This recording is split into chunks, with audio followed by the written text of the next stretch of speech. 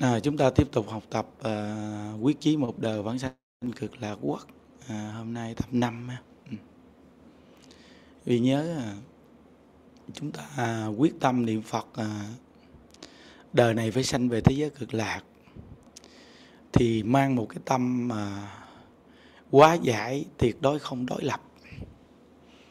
Thí dụ như à, mình đối lập với người, hơn thua với người, giành giật với người là vì mình còn muốn ở đây. Còn nếu như mình thật sự muốn sanh về thế giới cực lạc, thì mình không muốn đối lập với người mà mang tâm quá giải nên niệm một câu vật hiệu mà chúng ta thường tin nhân quả để niệm phật, thì tức khắc nghiệp chướng nặng nề cỡ nào cũng chuyển hóa thí dụ như ờ, một người tu hành mà bữa nay dành chỗ này, ngày mai dành chỗ nọ, ngày mốt dành chỗ kia, thì chắc chắn rằng là không thể nào đời này giảng sanh về thế giới cực lạc được. Vì mình muốn giành giật ở cuộc đời này. Thí dụ như bây giờ một câu vật hiệu này, mình niệm, mình đi đến đâu mà mình ờ, thí dụ như là một cái chỗ đó căn nhà đó ờ, có nhiều thứ không sạch sẽ. Ví dụ như ờ, ta nói rằng nhà đó có ma tà gì đó. Người ta nhờ mình đến đó niệm phật. Mình mang một cái tâm niệm phật mà mình đến đó mình niệm mà gọi là mình muốn đuổi người ta đi. Là đối lập, là sai. Đấu đá đó quý vị. Thí dụ như một cái căn nhà nào đó thiệt bự mà trong đó có người chết, ai vô đó ở cũng không được vô đó ở là sẽ văng ra hết, ở không được. Là do vì cái tâm con người vô đó ở, họ không có sự quá giải, tu hành, quá giải. Thí dụ như câu hòa thượng không ngày giảng nói rằng là phật cao một thước, ma cao một trượng. Phật cao qua trượng thì ma đầu hàng. Thí dụ. Cái quan trọng là cái tâm mình đó quý vị. Cái tâm mình lớn cỡ nào? Thí dụ như cái nơi đó một căn nhà mà có nhiều quán khí thì mình vô đó mình đừng có đối lập đừng có muốn hại người ta thôi. Thì mình sẽ quá giải được cái quán khí nơi đó. Dù quán khí có nặng cỡ nào mà cái người niệm phật mà cầu sanh cực lạc không có tâm đối lập không có muốn tiêu trừ thì tức khắc quá giải. Quá giải liền. Tại vì cái tâm mình người ta hiểu liền à. Thí dụ như mình đi đến đâu mình cũng có tâm từ bi thật sự từ tâm luôn. Người, nghĩa là mình mới đi đến đó, người ta cũng thử mình đó, người ta cũng khảo đảo mình đó. Nhưng mà mình nói rằng, tôi không có hại quý vị. Tôi không giờ hại quý vị. Tôi vô đây là để giúp quý vị chứ không hại. Ví dụ như ở nơi đây quý vị à, bị chết mà chưa được siêu thoát, quý vị làm phiền người ta, quý vị nhát người ta, là gì? Quý vị biết rằng là có những người đi đến đó muốn hại họ. Thí dụ như người ta thấy cái nơi đó à, có quán khí rồi, người ta sẽ xin bùa thì xin này, xin kia, lợi. Người ta dán trước cửa nhà người ta ta làm những điều đó nên khi phước họ si rồi người ta mới đối lập, người ta mới quay ngược lại với họ. Chứ nếu như mà họ chỉ có tu hành, nước sông công phẩm, nước giếng, họ không muốn hại người ta, thì tức khắc cái nơi đó họ đến là sẽ qua giải. Nhất là công đức niệm phật này nè. Quý vị phải nhớ rằng tụng kinh, trì chú, niệm phật, phương pháp trong nhà phật là quá giải. Thí dụ như có những người, cái nơi đó, nhà cửa ở không sạch sẽ, người ta thỉnh những người cũng tu hành lại nhưng mà phần nhiều những tu hành, người tu hành này lỡ đó là làm gì? Đối lập. Dùng cách này, cách kia chù yếm đồ này kia là điều đối lập hết. Mà trong nhà Phật thì không phù hợp. Tại trong nhà Phật là quá giải vậy. Nghĩa là mình đi đến đâu là quá giải đến đó. Sự buồn giận gì là trong nhà Phật dạy để quá giải. Đa phần là quá giải hết. Nên nhà Phật có nói câu là nhẫn nhỏ thành tựu nhỏ nhẫn lớn thành tựu lớn. Nếu như mình thật sự là người niệm Phật giảng sanh thì đi đến nơi nào quá giải nơi đó? Quán khí nơi đó tức khắc quá giải Y biết rằng á, những đức đến một cái nơi thứ hai nhà đức đã từng ở ngày xưa. Cái nơi đó xung quanh quý vị biết rằng cái mùi chịu không nổi đâu. Thật sự cái mùi người ta chịu không nổi đó quý vị. Đa phần nơi đó là dọn nhà hết giờ nhà hết, không có ở được. Mà những đức đi đến nơi đó vì biết rằng ban đầu là nhiều người trẻ đi cỡ nào chứ người trẻ người ta lỡ người ta đi hết tao không ở vậy mà những người già không đi được, những đức phải ở đó với các cụ già. Khi như đức ở đó ban đầu không đơn giản đó quý vị. Vậy đó mà những đức tin có vật hiệu này lắm, những đức đem có vật hiệu những đức. Để một cái lo ngay chăn cái cổng, để ba bốn chỗ vị trí luôn. Xong ở đó những đức chăn thật, những đức niệm phật với bà cụ luôn. Ba tháng sau nó quá giải mùi được 70 phần trăm, kinh chứ chịu 3 tháng mà 3 tháng đó là nhiều người rớt lắm mà đó. Nhưng người vẽ vẽ trẻ trẻ là rớt chịu không nổi đâu. Ở không được. Ta đi hết. Mà cái nơi đó nó nó lớn mà thời gian nó lâu. Nên cái âm khí nơi đó rất mạnh. Thì vị nhớ nè. Một căn nhà to căn nhà bự nghe, mà căn nhà đó người ta đã sợ căn nhà đó người ta không dám vô ở.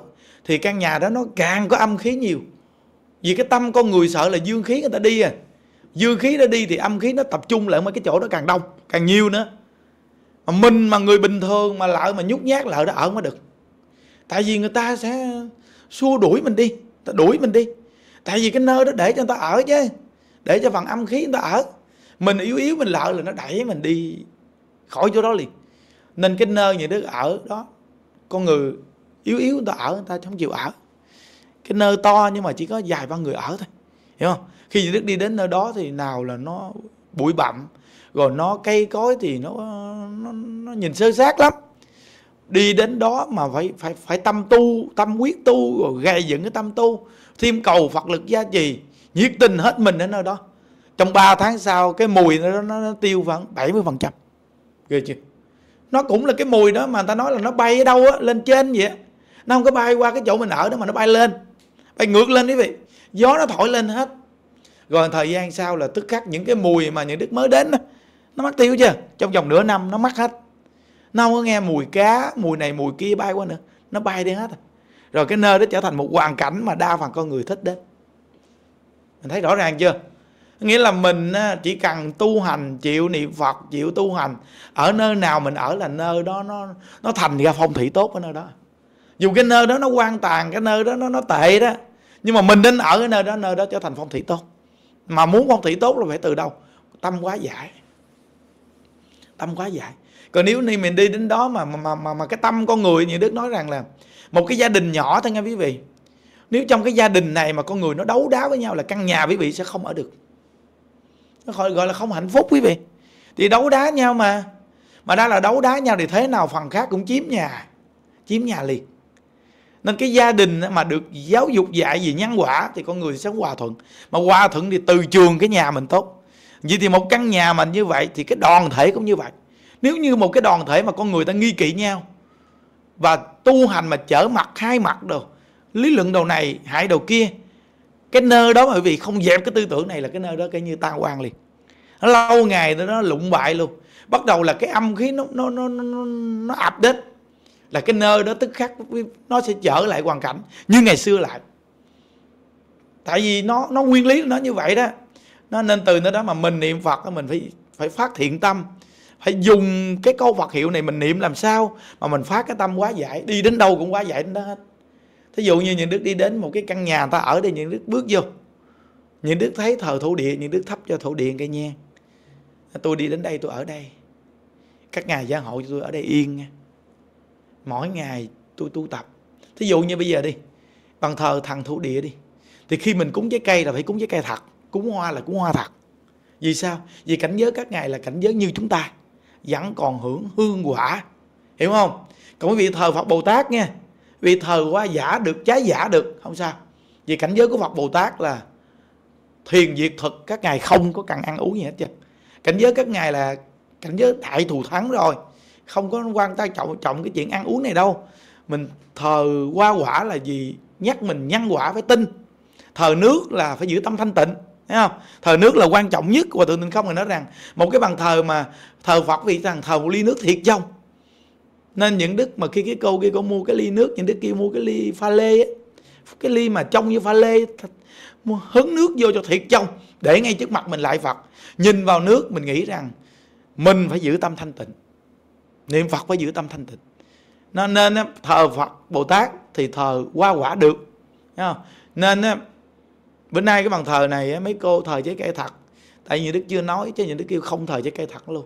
Tại mấy bà bưng lên, bưng xuống, có một hai bữa bà đi đổi đổi đổi, đi lên xuống mệt quá. Nhưng đức để trái đu đủ ở dưới gạo.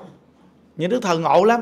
Qua cái bên kế một cái đu đủ bên quan âm, bên đại thế chí cháo đủ giả nghe Đức bỏ vô cái ly đức đưa cao lên vậy đó.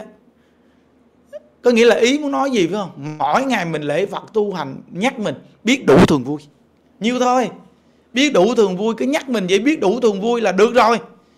À, nên cái cái nơi mà những đức ở là cái nơi có những ý nghĩ rất lạ lùng rất kỳ cục mà đa phần đều rất gọn ghẽ. Không có bài bố tùm lum. Những đức là người như vậy đó không có bao giờ những đức bài một cái gì lu bu lộn xộn. Cái thật chắc là đó những đức là thích nhất. Nên phương pháp tu những đức đưa cho quý vị cũng vậy. Tu rất dễ đứa con nít cũng tu được nè. Mà những đức đã nhìn ra được cái thời cuộc này rên ra quý vị không làm được bài bố quý vị không làm được. Thí dụ như giờ những đức đưa ra cho quý vị cái thời khóa mà trước đó phải tụng này, tụng kia, tụng nọ, thì những đức nói quý vị sẽ bị trở ngại khi ở trong công ty xí nghiệp, trở ngại giữa đường, trở ngại trong đồng, trở ngại mọi chỗ. Nhưng mà những đức đưa cho quý vị cách tu là mới vô là bắt đầu là đọc bài kệ như tí ti thế bị vô lễ phật hoặc là mới vô thì nguyện hương, rồi đánh lễ phật ba lại vậy thì đa phần ai cũng thuộc. Nên quý vị ở nơi nào quý cũng tu được hết chứ nên đạo tràng của mình là đạo tràng di động cái tư tưởng nhà đức đưa ra là quá phù hợp luôn. Quý vị tu nên quý vị an lạc nè. Đa phần ai tu cũng an lạc hết chứ đó quý vị thấy không? Rất là dễ tu mà bây giờ cái đạo tràng trên không trung này là một cái đạo tràng đại thù thắng nè. Mấy vị biết cái đạo tràng này là đạo tràng, cái đạo tràng đang quá giải những quán nghiệp cho chúng sanh nhiều lắm. Vì cái tần số quý vị coi giờ này mà cả ngàn thành viên hơn một ngàn thành viên. Thì quý vị biết rằng là nó cái tần số này nó nó lượng trên không trung á à, mình ở đây những đức như là tổng đài chính nè. Quý vị như là những tổng đài mà những cái vị trí con khắp nơi nơi nó câu thông lại cái tổng đài chính này. Nên cái tần số đó nó câu thông trên không trung á quý vị. Quý vị nhớ kỹ cái giờ này mà hơn một ngàn thành viên tu không đơn giản đâu. Bây giờ người ta có ờ, tập trung một khóa tu đi chăng nữa chưa chắc. Cái nơi nào mà tập trung được một ngàn con người mà lỡ đó tu nó đừng nói chi mà mà trên không trung mà khắp nơi nơi mà mà một ngàn thành viên một ngàn thành viên này mà quý vị coi, ví dụ như là minh hiền, ba người ví dụ như nhiều người nè, hai người, ba người nữa. Gọi ví dụ như diệu minh là giờ này bốn chị em nè không? Nghĩa là thêm thành viên đó bị nghĩ là đông chứ không phải chuyện giỡn đâu. Đó, nên từ nơi đó mà tu an lạc rõ ràng. Nên quý vị nhớ câu vật hiệu này, mình niệm mình phải hiểu nguyên lý. Mình hiểu nguyên lý, nó càng đỡ rắc rối thì nó càng tiện tu à tại vì pháp môn tịnh độ này là tính nguyện ngay có vật hiệu để thành tựu của đường giảng sanh. Mà càng đỡ rền ra chừng nào thì con người này càng dễ tính chừng nấy. Vì thấy đa phần con người khó tính là con người thêm họ thêm này chút thêm kia chút thêm nọ chút, này chưa đủ, này chưa đủ, này chưa đủ, nên thành khó tính. Mà đa phần quý vị thấy những người không hành trì là những người bài bố. Thì để ý đi. Không hành trì là bài bố. Thí dụ như lúc trước đi, những đức lễ bồ tát quán thế âm, lễ chết màu luôn những người không lễ bồ tát quán thế âm thì như, như thế nào? Ông sao không lễ lễ sao lễ gì? Sao lễ gì? Sao lễ mà con cười? Mình hỏi lại. Anh có lại nào không? Dạ không. Anh không lại nào hết trơn người ta lại ba ngàn lại. Anh không lại được lại nào hết trơn anh ngồi đó anh anh còn ơi, viết văn nữa hả? Anh còn lập la bàn nữa. Anh vẽ tranh không á mà hiểu không? Nên đa phần là không làm thì ngồi để nhìn. Còn nếu mà hành trì thì không ai đi rảnh đâu mà đi đi ngồi để nhìn làm gì chứ. Quý vị ở trong ba ngàn lại quý vị nói đơn giản lắm hả? Bị công nhận không? Ai ở đây lại ba ngàn lại bị nói đơn giản không? Chính là thành viên quý vị lại có thể đã khó không chi là người mà đứng sướng. Ba ngàn lại cho quý vị. À, vậy đó mà nhiều tên không có tu mà cứ ngồi nhìn. Là vì sao? Không làm thích vẽ tranh, ngồi cái vẽ tranh suốt vậy đó. Thấy không? Nó nên từ nơi đó mới bị biết rằng cả đời ngồi vẽ tranh cuối cùng chết ngay bức tranh. Chưa biết bức tranh như thế nào. Quý vị phải nhớ rằng những đức là một con người ít học, nói chuyện thô thiện nhưng cái bánh của những đức đưa quý vị là ăn được và no được. Chứ không phải mà những đức đưa cho quý vị cái bánh mà chỉ biết nhìn mà không được ăn đó quý vị à đó. nên những đức không cần người khác gọi những đức là bậc chăn tu gì hết. Chăn tu hay chăn giả gì cũng được, miễn làm sao chúng sanh được lợi ích thôi. Như vậy mà cái kẻ chăn giả này nè, khi quý vị gặp nạn nó cho quý vị một cái chân để mà đi đó. Vì thấy không? Vì thấy trong mùa dịch không? Ai là người hướng dẫn quý vị mà an tâm cho quý vị tại nhà tu hành? Thường ngày chăng này chăng nọ chăng kia nhưng mà cuối cùng gặp độ có giải quyết được không? Không giải quyết được vấn đề. Quý vị ngồi mà suy nghĩ kỹ đi phải không? Nếu mà ngồi suy nghĩ kỹ cái mà cái những đức nói cho vị nghe lại là cái. Khi bị gặp nạn vị lại giải quyết được vấn đề. Gặp sự cố là giải quyết được. Nên những đức mới nói rằng là tôi giả vậy đó dốt vậy đó nhưng mà đưa ra cho người ta là dùng được. À, quý vị thấy không? Phải dùng được không? Nó điên điên cùng cùng bên chợ gì đó mà cho quý vị một phương pháp tu. Tại nhà giờ này mà ta niệm phật rầm rầm. Những người thông minh quá trời luôn làm cái này không? Có ai làm cái này chưa? Nó nhào vô làm đi.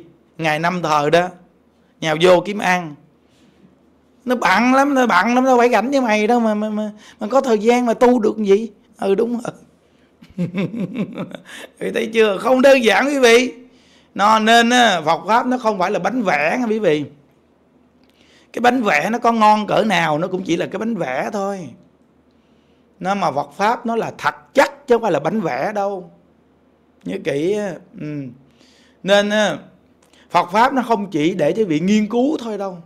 Đức Thích Ca Mâu Ni, Ngài đi xác thực vào nhân sinh và Ngài tu hành là thật chắc Chứ không phải là Ngài ngồi đó để Ngài nghiên cứu đâu Quý vị nghiên cứu giết rồi Tới khi cặn tử nghiệp, Nó cứu quý vị một cái lọt xuống dưới luôn. Một trăm phần trăm luôn, Không biết bao nhiêu cái nghiên cứu. Cuối cùng tới cặn tử nghiệp Thì cứu quý vị một cái luôn.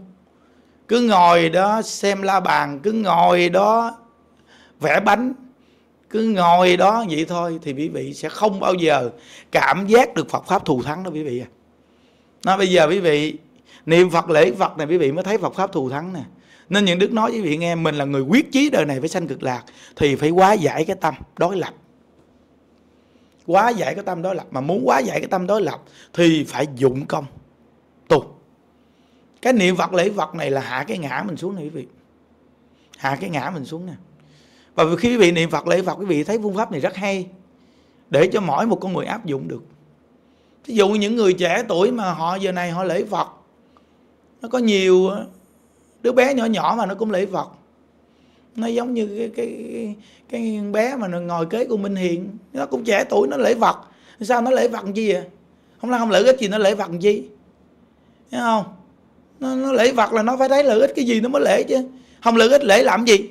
Như những đức mà không lễ vật có nghĩa là những đức không được lợi ích thì những đức không lễ. Giống như thiện giờ này nó lễ vật là nó phải lợi ích nó mới lễ vật. nhỏ lễ vật chứ mà nhỏ đẹp trai. Thấy chưa? Hiểu không? Nên từ nó đó lễ vật viết là thấy lợi ích rõ ràng. Mà đa phần thấy mấy cô lễ vật ai cũng mặc tươi rối à. Bây giờ mấy cô là được lợi ích xác thực rồi còn tươi rối là còn gì nữa? Đưa lên vùng pháp tu mà, mà, mà bà nào bà nấy mặc tươi rối ông nào ông nấy mặc tươi rối à. Chứ đâu có héo. Nó còn hơn mà vì tu xong mà héo? Tôi ra xong ra người nào người nấy gì nè à. hỏi tu à, tu xong ra mệt gì mấy tiếng mà kêu không mệt. Không phải tu ra gì đâu quý vị. Tu ra làm sao mà nó khỏe, nó vui, nó thích. Giống như quý vị ăn một món ăn nào cái nơi, cái quán buôn bán. Ăn xong một lần vì nói, kỳ sao tôi mới lại ăn nữa? Ăn xong rồi, kỳ sao phải ăn? Gan đây là phải ăn. Hỏi sao rồi? Ngon quá trời. Cái món ăn này nó ngon gì đâu. Ăn quay không thấy ngán luôn. Thì quý vị biết cái nơi buôn bán này là thành công. Thành công. Còn hơn là quý vị cho người ta ăn một lần, người ta nói nam mô với đạo phật. Từ đây về sau, tôi sẽ vĩnh biệt cái quán này luôn.